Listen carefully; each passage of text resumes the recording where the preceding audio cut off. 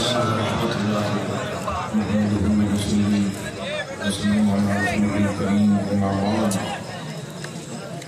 فأعوذ بالله من الشيطان الرجيم. بسم الله الرحمن الرحيم.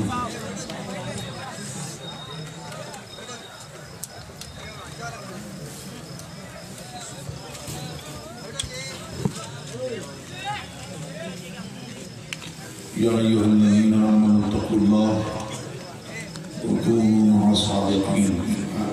صدق الله العلي العظيم وبلغنا رسوله النبي الأمين الكريم ونحن على ذلك لمن الشاهدين والشاكرين. والحمد لله رب العالمين. غوث اعظم من بسر وسامہ مدد قبلہ دی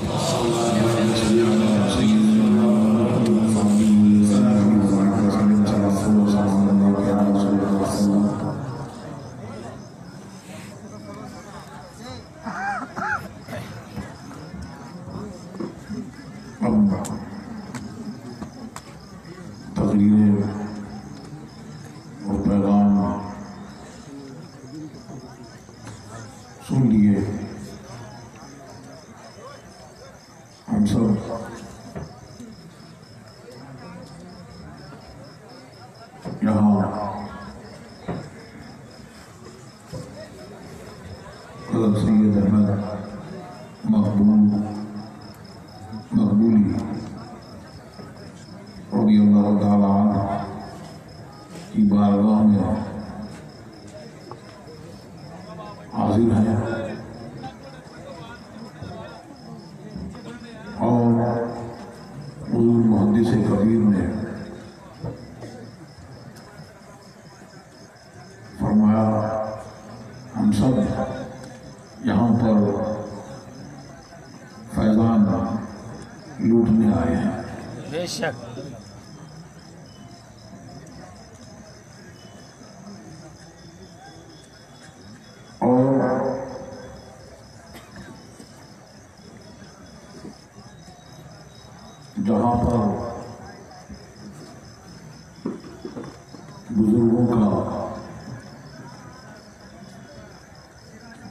تذکرہ ہوتا ہے،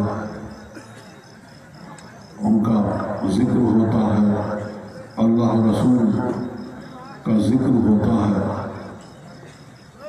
تو وہاں پر رحمتوں کا نزول ہوتا ہے۔ اور ہم نے ایک دوسرے کو دعوت دے کے بلایا۔ فرشتے بھی ایک دوسرے کو دعوت دے کے بلاتے ہیں۔ اور آواز دیتے ہیں۔ دعوت دیتے ہیں۔ کہ آؤ آؤ یہاں ہے تمہارا مطلوب مقصود۔ اور وہاں سے لے کر آسمان تک چھا جاتے ہیں۔ اللہ تبارک و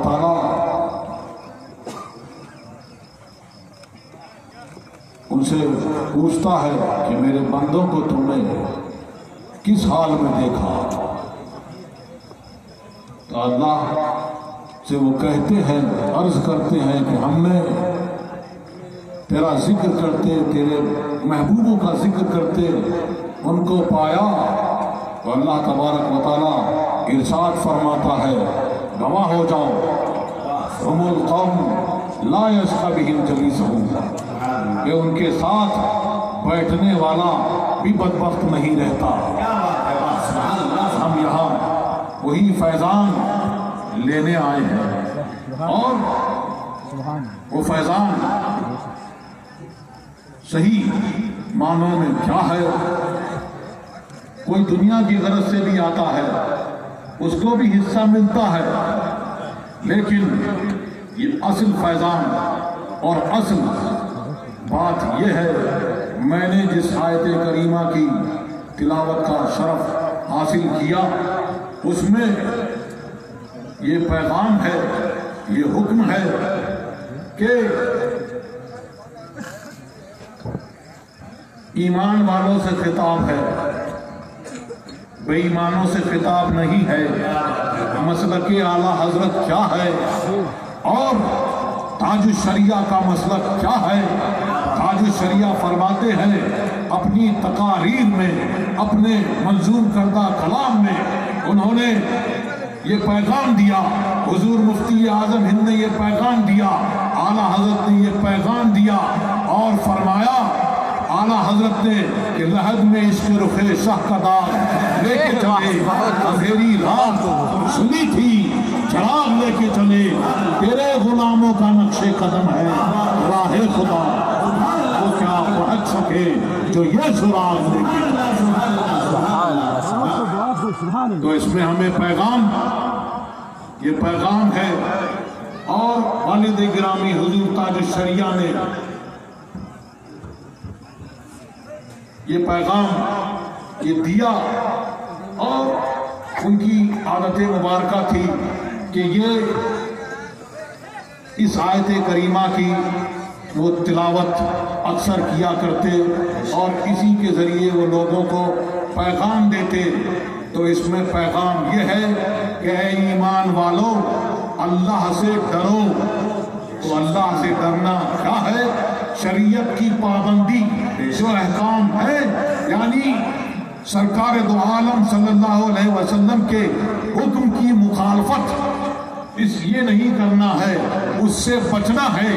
شریعت کی پابندی کرنا ہے تو شریعت کی پابندی کرو اور اپنے پیغام میں یوں بھی فرمایا حضور تاج شریعہ نے یہ بلحوث سن سیم و کی بندگی اچھی نہیں ان کے در کی بھیک اچھی سر بھری اچھی نہیں۔ آخر میں فرمایا جو پیا کو بھائے اختر۔ جو پیا کو بھائے اختر وہ سہانا راگ ہے۔ یہی ابھی مولانا احتشام صاحب نے ابھی کہا اور بات یہی ہے کہ آدمی کی طبیعت جو ہے وہ کچھ بھی چاہے، لیکن اس کو شریعت کے مطابق کر لے۔ بلکہ اگر وہ ایسا ہو جائے کہ شریعت کے سامنے بالکل جیسے مردہ، بدست زندہ ایسا ہو جائے، تو اس کا عالم یہ ہوتا ہے کہ اللہ اللہ اولیاء اللہ لا خوف علیہم ولا هم یحزنون۔ کہ پھر ان کو کوئی غم نہیں ہوتا تو شریعت کی پابندی کرے، جو پیا کو بھائے اختر، جو سرکار کو بھائے، جو محمد رسول اللہ کا حکم ہے، اس کی پابندی کرو اور اس کی مخالفت سے بچو۔ جو پیا کو بھائے اختر، وہ سہانا راگ ہے۔ اور جس سے ناخوش ہو پیا، وہ راگنی اچھی نہیں۔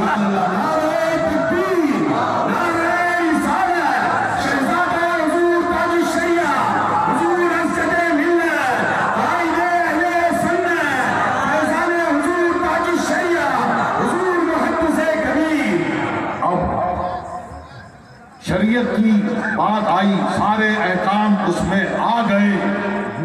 سب پیغام آ گیا اور بتایا کہ یا ایوہ الذین آمنوا اتقوا اللہ، تو تقوی والے ہیں کون؟ کون ہے تقوی والے؟ متقی ہے کون؟ تو وہ جو دگر دگر گھومتے ہیں اور آؤ نماز سیکھ لو روزہ سیکھ لو، یہ کر لو، وہ ہیں یا یہ جو کہتے ہیں کہ یہ بھی ٹھیک، وہ بھی ٹھیک، ہر کلمہ گو سب ٹھیک ہے، یہ نہیں ہے، بلکہ وہ ہے، ادل للمتقین۔ ذالک جو ایمان لائے، یؤمنون بالغیب۔ یہ قرآن اس میں ہدایت ہے متقیوں کے لیے۔ بے شک۔ تو متقی کون ہے یؤمنون بالغیب جو غیب پر ایمان رکھتے ہیں۔ جو غیب پر ایمان لاتے ہیں۔ تو جو یہ کہے کہ محمد رسول اللہ معاذ اللہ انہیں کوئی غیب کی خبر نہیں وہ ایمان والے نہیں۔ ایمان والے کون ہیں؟ اور سرکار دو عالم صلی اللہ علیہ وسلم کو تو غیب اللہ تبارک و تعالیٰ نے دیا، انبیاء کرام کو دیا، بلکہ ان کے صدقہ و طفیل میں ان کے غلاموں کو اس نعمت سے نوازا۔ عامت المسلمین کو بھی غیب کی خبر ہوتی ہے۔ امام صاحب الدین سہر وردی فرماتے ہیں، وما کان اللہ۔ دوسری پڑھے اللہ صلی اللہ علیہ وسلم وما کلفن اللہ ایمان ایمان بالغیب حتی فتح لنا باب غیبہی کہ اللہ تبارک و تعالیٰ نے ہمیں جب تک غیب پر ایمان لانے کا حکم نہیں دیا، جب تک کہ ہم پر غیب کے دروازے نہیں کھول دیے۔ سبحان اللہ۔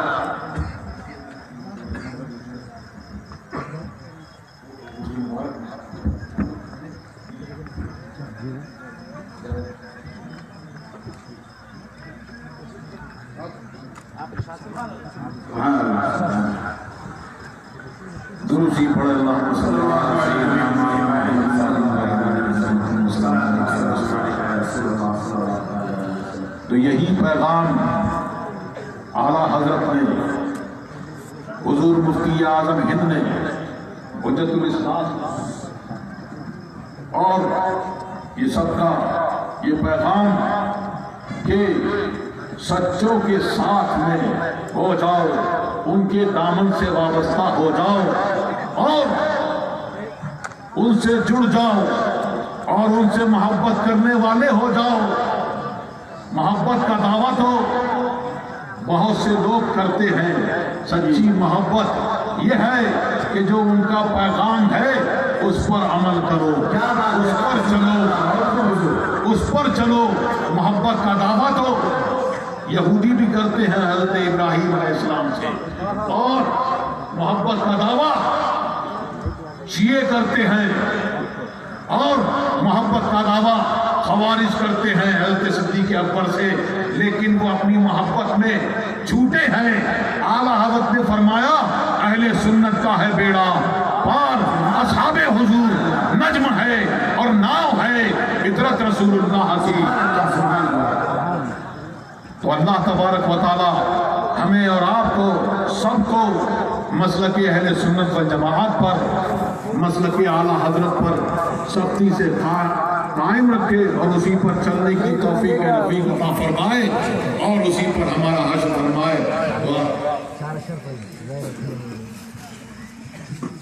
حضور مفتی اعظم ہند کا منظوم کردہ کلام۔ اس لیے کہ ابھی مجھے میسج آیا تھا کہ اس میں ابھی نہیں، کئی دن پہلے کہ اس میں حضور تاج الشریعہ کے بھی چند کسان تو میں رسالت ہے۔